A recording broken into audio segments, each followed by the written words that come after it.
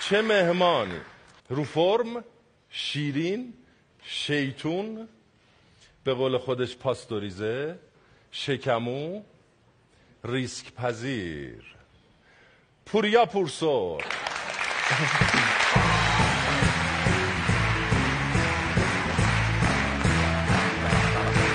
سلام. احوال خوبی؟ سلام. سلام. سلام. سلام سلام سلام سلام سلام. شما خوبی؟ مرسی. کجا من بشینم؟ اینجا؟ مرسی. بس بس بس سلام.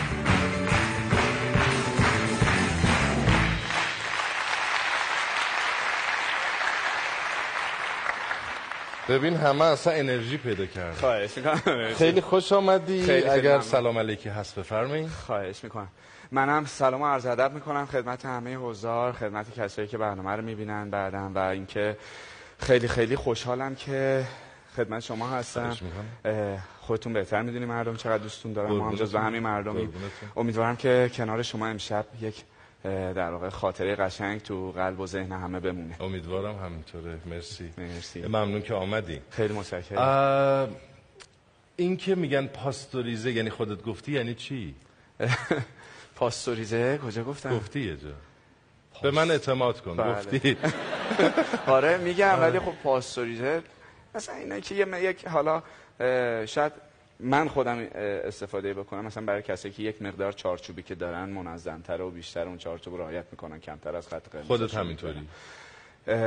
صادقانه به خ... یک کم فکر می‌کنم تو این تعریف آره. قرار بگیرم. خب همین یه تعریفی ازش بده که مثلا چه کارها می‌کنی چه کارها نمی‌کنی. به عنوان بازیگر به عنوان یک به عنوان بیشتر در مورد زندگی شخصی خودم اگر بخوام بگم من خیلی آدم منضبطی هم تقریبا. مثلا همین الان به طور دقیق هر کسی بتونه بره توی خونه هم کلیدو داشته باشه. مثلا هر چیزی رو بخواین دقیقا می‌دونم کدوم کشو کجا قرار گرفته کنارش چیه. عین سامان سالوری. جدی؟ همین الان. خانومش خانومش گفت از در میاد همه چیزو میریزه تو آشپزخونه آها میره. از اون لحاظ خب. نه من برعکس من مثلا درس می‌خواستم بخونم چون من حالا یک کمی درس خون بودم.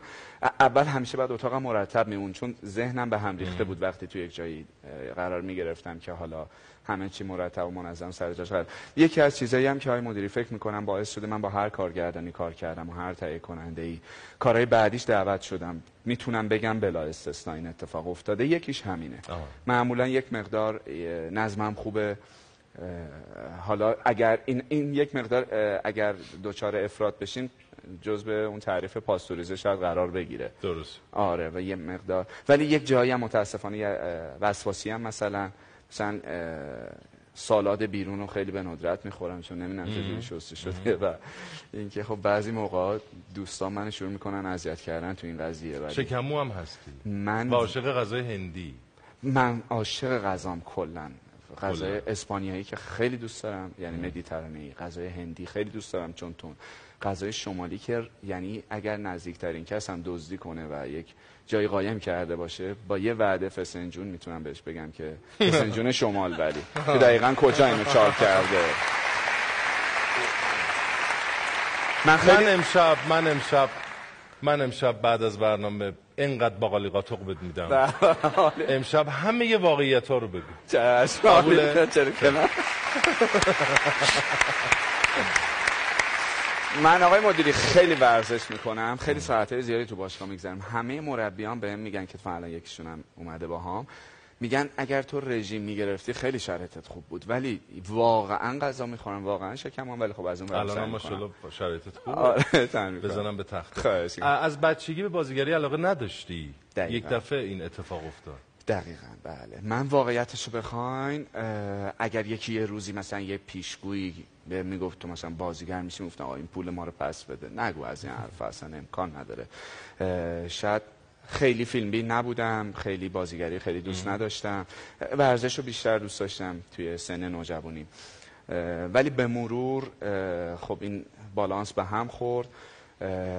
من اولاش خیلی صادقانه اینو بگم به خاطر اینکه یک مقدار من زیاد خجالتی بودم. مثلا اگه می‌رفتم توی رستوران مثلا خدا نکره مویی تو بشقاب بود روم نمی‌شد بگم آقا این چه وضعیه. خیلی مرتبی دستمالم میذاشتم که کاورش کنم مبادا گارسون رو اخراج کنم به خاطر این قضیه و خیلی همچین آروم می‌رفتم. خیلی جاها همین الان هم متاسفانه اسم می‌کنم این باعث شده خیلی جاها خصوصا تو این حرفه که می‌دونین یک مقدار باید جنگید برای اینکه حق تو بگیری. من یک کلاس مدیریت می‌رفتم. یکی از اساتید خیلی به نام دنیا آمده بود توی ایران. می‌دونین که این اساتید دعوت میشن ولی عمدتا آره. در واقع فرصت استفاده ازش محدوده. حالا این شانس نصیب من شده بود. تو تقسیم بندی آدمای موفق من نگاه کردم دیدم جزء تو 5 تا رده من جزء دوتای آخرم. آدمای موفق از دید این استاد میگفتش که باید اینقدر اعتماد به نفس و شهامت داشته باشه زنگ بزنه برای مثال به کسی که می‌دونه مثلا فلان کارگردان فلان کاری داره می‌کنه و می‌دونه این نقش از پس از عهده این نقش برمیاد بله. زنگ بزنه بهش بگه آقا من انتخاب خوبی ام من مثلا همیشه با کارگردانایی که دوستم موقعی که تو پیش دیدن دو قدم عقب‌تر وای میسم. اگه مثلا شاید اول پرسی می‌کردم ماهی بار اونم نمی‌کنم. دوست ندارم توی معذورات قرارشون بدم معذوریت قرارشون بدم چیزی که شاید جایی گفته بودین که در سینما خیلی ها برای تو پشت پا زدن. یعنی تک پا برات زدن. یعنی زدن بیفتی. آره. بله.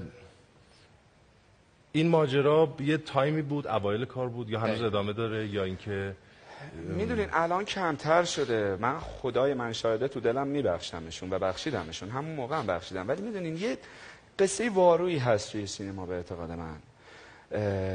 ببینید برای مثال یک بازیگر صاحب نامی اگر باشه توی یک پروژه لاقل تجربه‌ای که من تا حالا داشتم و دیدم و شنیدم و دارم میگم.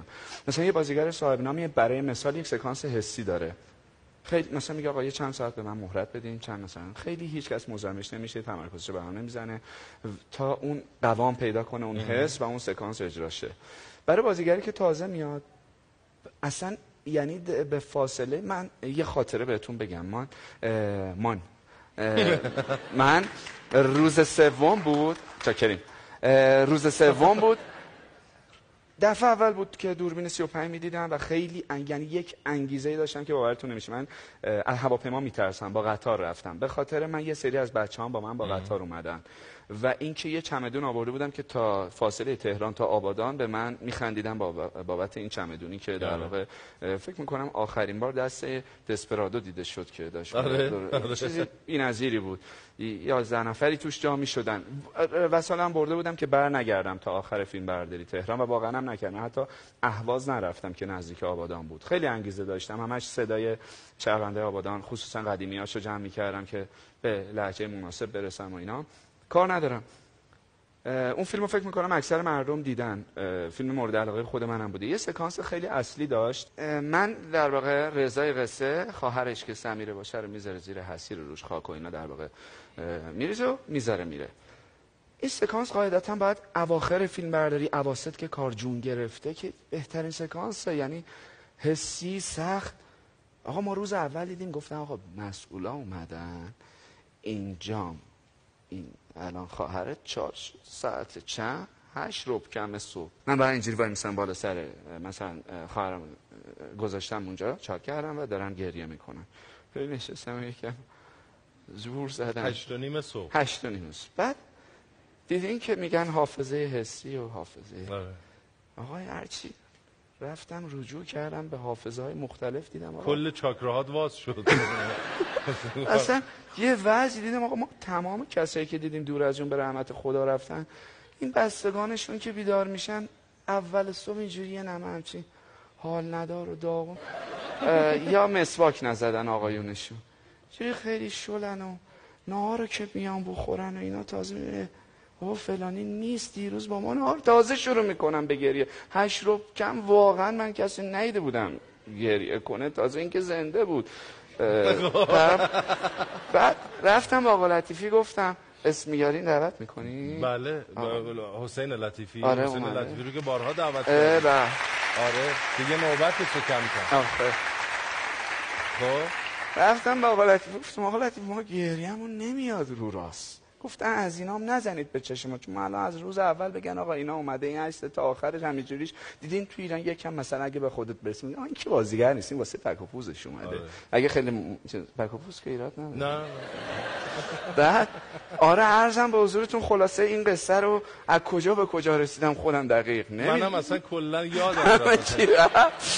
ولی یه چیزی که نه هست قیف تک‌ها برعکسه. گرفتن بر قیف برعکس یعنی من میگم مثلا برای یه پیشکسوت یه صاحب اسم صاحب سبک تمام مسائل رو لحاظ می‌کنه ولی مثلا بازیگر تازه میاد میگه آقا باره دیگه چی نمی‌تونم الان مثلا؟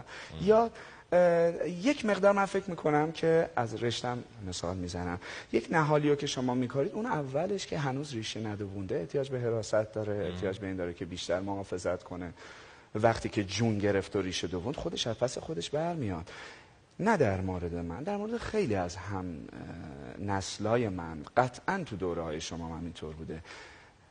حتی من فکر می‌کنم هنوزم هست. متاسفانه روی کرده مدیرامون هم هست. حالا مدیرا رو میگیم عوض میشن ولی خودمون که هستیم هم این کم لطفی به هم داریم. یکی که تازه میاد من معتقدم که همه می‌خوان یه جوری بگم بابا این دیگه کیه؟ این چرا آمده؟ و شروع می‌کنیم اون اتفاقی که نباید بیفته. من خود منو چون من, من یکم آدم زودرنجی هم صادقانه. من خب طبیعتا اون دوره خیلی مثلا روزایی که می‌تونست بهترین روزای زندگیم باشه نشد این اتفاق. و اینکه واقعا فرصت فرصت می‌خواستم تا خودم رو پیدا کنم دوباره که خدا رو شکر موندم و خیلی ها همون موقع من یادمه که یک منتقد صاحب نامه که تریبونی هم داشت می‌گفت آقا این یه سال دیگه هم نیست. از اینا زیاد رفتن. یه چیزی میونه کلامت بگم. بعضی ها هم تقصیر خودشون ها بعضی ها که تازه وارد این حرفه میشن یه جوری غروری بله دارن بله. بعد دیگران لجشون می‌گیره. یعنی وقتی وارد گروه جدید میشن میگن پدری از این ما دراریم دقیقاً. یعنی از روز اول که میبیننش. یک آقایی اومد یه بار سر یه کاری از ما اولین بار بود جلو دوربین می‌رفت. یعنی تست داد اینا. بعد نشست اینجوری. بعد هر سه دقیقه یه بار اینجوری می‌کرد.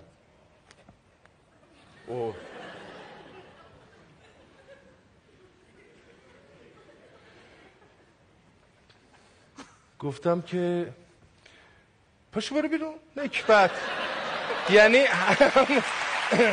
اصلا بدون هیچ حرفی. بدون هیچ حرف. برو بیرون. ولی بعضیا از روز اول که میان این قلقه رو می‌دونن. اینجوریان متواضعن من چیزی بلد نیستم. کمک می‌گیرن. درست. کمک می‌کنن. اصلا هر کاری می‌تونن بکنن. البته من قطعا جزو دسته دوم بودم که آره حتما. حتما. این که گفتی من یاد این موضوع افتادم. آره. حتما. و اینکه معتقدی باند وجود داره در سینما. ببینید باند تعبیر یک تع- یعنی در واقع یک یک, نگ... یک نوع نگاهه. من معتقدم تمام دنیا این اتفاق هست. اتفاقا من برنامه‌تون رو با یکم مهموناتون داشتم می‌دیدم دیدم به این قضیه اشاره کردین. ببین تمام دنیا اسکورسیزی سالها با رابرت دنیرو کار می‌کنه بعد با دیکاپریو کار می‌کنه. به یک زبان مشترکی می‌رسن شاید مثلا یه کارگردان به طور نرمال بخواد یک قضیه به من تفهیم کنه شاید زمان کوتاهتری ببره مثلا تا با یک بازیگر دیگه. باندم هست واقعا هم هست دیگه بالاخره. آره.